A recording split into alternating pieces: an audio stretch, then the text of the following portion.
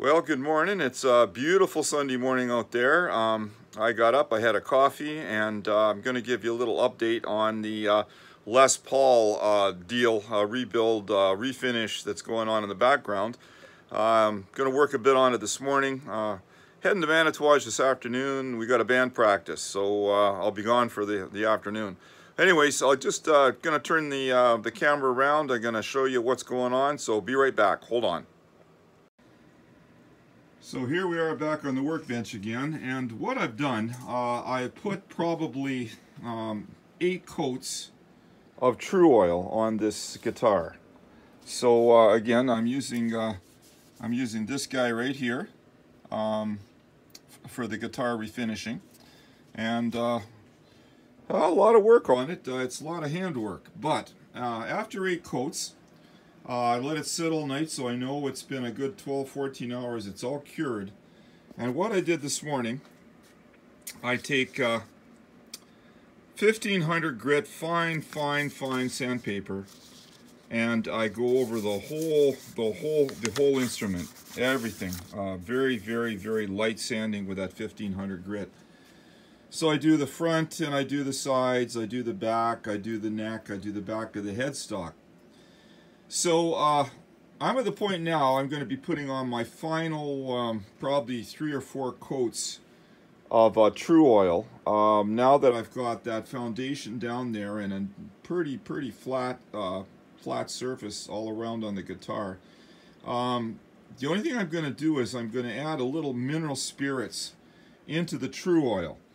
So you're going to see that in another video, but basically uh, I'm going to add probably just, oh I don't know, uh, sixteenth of an inch of, uh, of uh, uh, mineral spirits in the bottom of one of these cups and then put maybe, you know, I don't know, half an inch of, of Tru-Oil. And what that's going to do, that's going to thin the Tru-Oil out, make it a little thinner. So what hopefully is going to happen is when I put it back on here, um, it's going to go on a lot thinner and a lot smoother uh, than what it is like uh, right out of that bottle. Uh, at least that's the plan. So we're going to see what happens. So uh, stay tuned for the next uh, adventure of uh, finishing this Les Paul. It's going to be a fun one. Over and out. Bye. This is going to be an interesting video because what I'm going to be doing is I've done the final sand after putting eight coats of uh, Tru-Oil on this guitar. And then I went and I did a final, final sand on it uh, to make sure it's really smooth. So this is kind of the, the last coats of Tru-Oil I'm going to be putting on this guitar uh, to see if we can get it into a nice looking finish. And uh, so what I've got is I've got some uh, mineral spirits here, uh, clear, and I'm going to put a little wee bit in a cup, just uh, just a little, just a little bit, just a little bit, not much, just a little wee wee tiny bit. And that's just going to take this Tru-Oil and it's going to thin it out, I hope. So I've got just a tad and I'm going to put in some Tru-Oil on top of it. Just like that.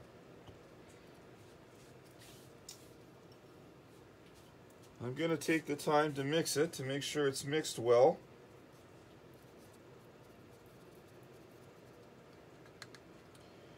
And I'm going to put the top back on here because I learned the hard way. Sometimes I leave stuff like this with the top off and uh, hit it with the elbow or I don't know something and next thing you got a big mess. So uh, I'm gonna make sure that that doesn't happen. I'm gonna do the same thing with my uh, my Tru-Oil as well. I'm gonna put the top top back on it as well so just hang on. I'll be back in a moment once I get these tops on.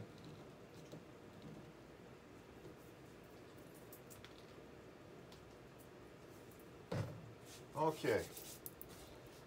So let's see what we're gonna do here. I'm gonna put the glove on. I have these uh, look like surgical gloves. There's that bloody Tru-Oil, the sticky stuff. What I have here is uh, this final one. I used an old t-shirt that uh, I have uh, in my drawer that I don't use anymore. And uh, I'm going to use it because it should be almost, uh, hopefully, 100% lint free. And uh, what I'm going to do is I'm going to roll a little ball up, I think, in the center of this thing. So I get something, hopefully, that looks like this. Okay? And now we're going to try this. We're going to see what happens. Uh, the other thing I want to make sure of, I don't want this too wet, eh? So I got to be careful that I don't uh, have too much on there. So I'm going to just make sure. And now I'm going to do kind of what they call a French polish, which means I'm going to use a circular motion like this. And I'm rubbing fairly hard, just so you know. This is, uh, I'm, I'm, I'm pushing this right in.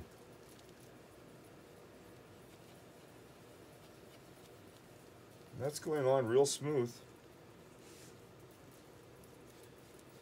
I can see that that uh, mineral oil uh, in this uh, Tru-Oil really makes a difference applying this uh, because in its normal state when I was putting true oil on the first eight times it's it's really sticky and it it grabs a lot on the top of the guitar wood. So this, I notice, is going on a lot smoother with that uh, pure mineral oil uh, inside uh, this little cup here mixed up. So I'm going at this real slow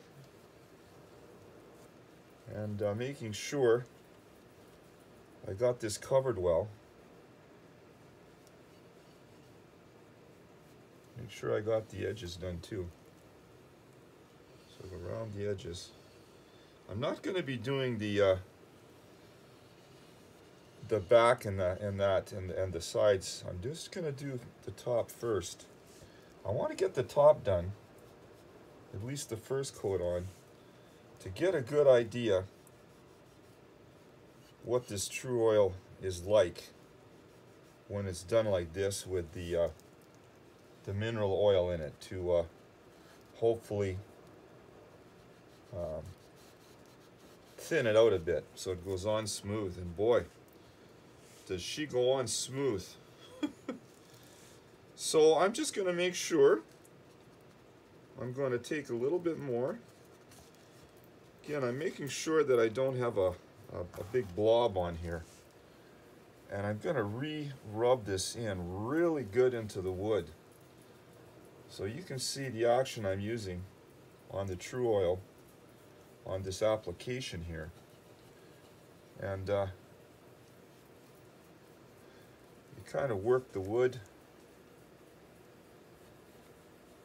as best you can in, in a circular motion.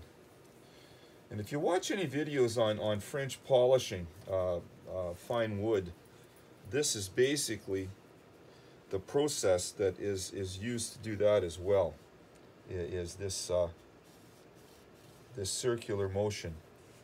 Um,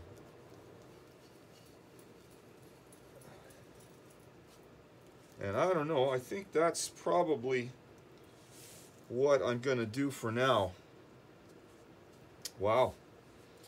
Let's just uh,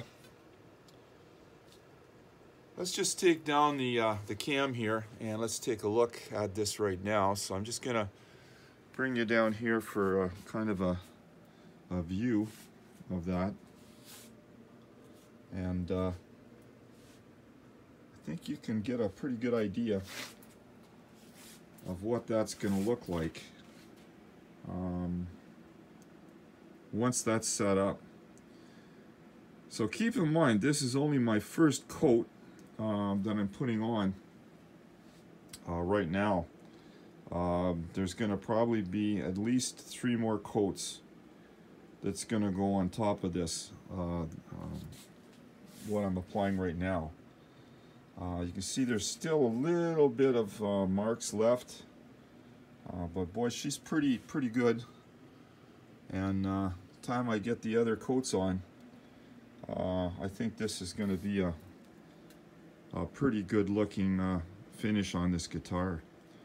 So hopefully that gives you a good idea and I'll keep you posted and I will show it probably after I get the the rest of the guitar done and maybe three or four coats applied. So over and out for now. I had to take this uh, short video here just to show kind of uh, you know how you do the body. Uh, this is the cheap man's approach to a, to a guitar uh, holder and you can see what I do.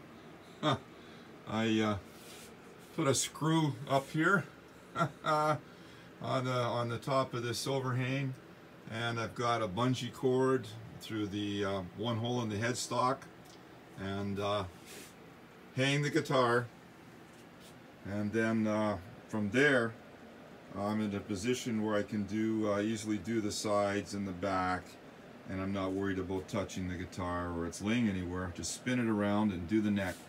The other thing too is I've got uh, two or three coats of uh, Tru-Oil on now, the thin, uh, thin down version, and you can really start to see what this uh, guitar is going to look like. Uh, I'm looking at the, the finish on this, and I'm really, really, really impressed with uh, the way this this finish is, is coming across because it's just, you can see, um, it's a pretty high gloss uh, finish that you're, you're starting to see on this guitar. Um, yeah. So um, look at the neck. You see the neck as it, uh, that neck, uh, by the way, after I get another, you know, two or three coats on, I get this really, really shiny. Uh, I'm probably going to let it cure for, um, I don't know, overnight. And I'm probably going to put it on the buffing machine as well and then uh, really, really bring out the shine. But this neck, I'm not a lover of a shiny neck um, or, or a neck that, that's, uh, that's got a high gloss on it. So uh, I'm not sure after everything's done, I'm happy with all the everything on the guitar. I get the electronics back in and everything's running. I might take some real fine steel wool and uh, go over that neck um, and basically what that's going to do, just a very fine rubbing, it's going to make that more like a satin finish. Um, so, you know, as you're, you know, if you're using bar chords and whatnot, sliding up and down the neck, uh, sometimes something like a high gloss will grab and uh, that I don't like. So that's the only thing right at the end of the whole, the whole uh, finishing and the guitar's all done. I'll make the decision. Uh, I'll play it, see the way it is. And if I don't like the feel, I'm gonna like I say, I'm to touch that neck up with some uh, fine steel wool. But uh, overall, uh, I don't know.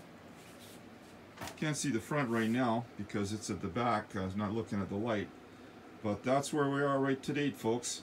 So uh, again, uh, the next video I'm probably going to be putting in the electronics, I would imagine, on that video because there's not much more to show you here other than uh, when it's uh, it's finally done you'll see that on the bench with the electronics coming in but uh, man I'm I'm really happy looks great okay you all have a good day bye bye